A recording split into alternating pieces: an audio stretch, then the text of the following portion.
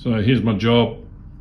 Uh, I've got a floor pad here uh, for a new building that I've, I've got to construct and the uh, finished floor height here is top of concrete is uh, 101.720 reduced level.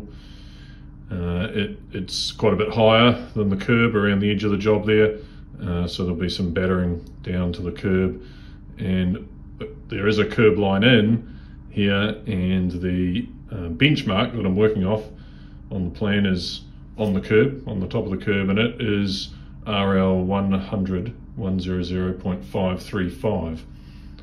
So that's the information on the plan I've got to work with. And then over here we have the uh, cross section which is showing the the finished floor there. So the green is the concrete, so the top of the concrete finished floor level 101.720. There's 200 millimeters of concrete there and then 50 millimeters of blinding sand under that. Uh, and so I need to work to that first. So I need to work to the underside of the sand first. Um, so there's a little bit of math to do just to get from the elevation 101.720 um, down the thickness of the concrete and down the thickness of the layer of sand and then that's the level that I need to uh, to work to. So I'm in a Cat 308 uh, running Trimble Earthworks and we're going to build a pad out there, uh, the underside of the concrete slab uh, that was in the plan on the whiteboard just earlier. So we're going to work through how to use reference elevation bench. So I'm on the dashboard here, I'm in 2D in the machine setup. So to go in there, our positioning source is 2D. Accept that. And importantly, here, because I'm going to be moving over to that part of site um, to build the pad, and my benchmark is actually over here on the curb. I've got my laser set up there. I need to have a laser catcher so I can transfer my elevation when I move the machine. So there's my laser catcher.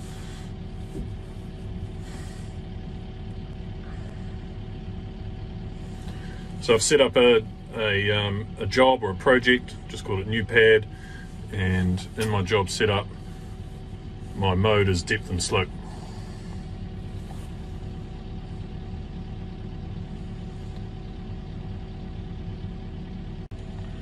So I'll come through to the work screen, I'll just hit start here.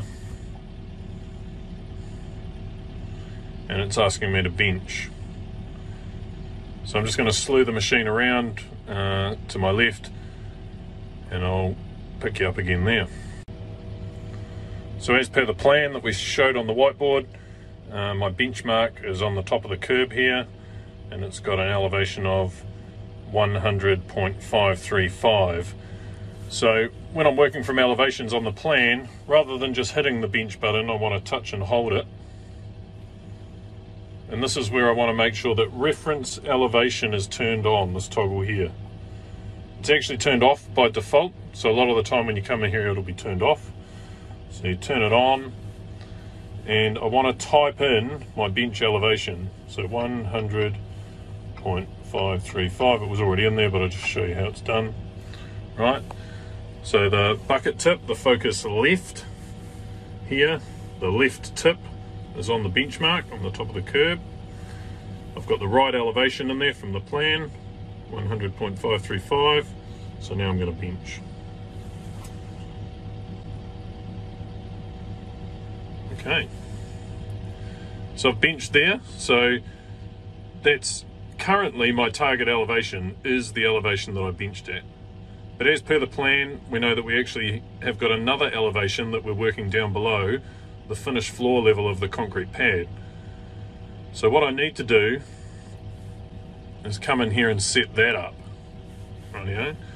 So instead of 100.535, I want to type in the target elevation that I know, which is the top of the concrete pad. So 101.720 top of concrete. Okay, as we talked about, it was showed in the cross section on the plan. I'm not working to top of concrete with the excavator. I'm working to the underside of the sand which is a negative offset of 0.25 negative below the top of the concrete. So I've benched at 100.535, I've come up to the top of concrete, and then I've come down 250 millimeters. So that's where the green line is now. And the, the beauty of reference elevation bench is that it's done all the math for me. So I've just read the numbers off the plan and it's worked out that after all of that, the target elevation that I'm working to is 101.470. It saved me all that mental math. So I hit apply. Okay. And now I'm getting cut fills to 250 millimeters below the top of the concrete, which is 101.470. Right, so I'm getting cut fills to that, which is the green line in here. So you can see I've got a little bit of fill to go, but I'm not where the pad is. I need to scratch around um, underneath the pad over there where we're going to build the pad um, on that area there. So now what I need to do is catch my laser so before I move the machine, I need to catch the laser. So I'm just going to, I've got my laser set up here. So there's my spinning laser. So I can bench without catching the laser. There it is there. Just come down, I've actually got to catch it slow enough.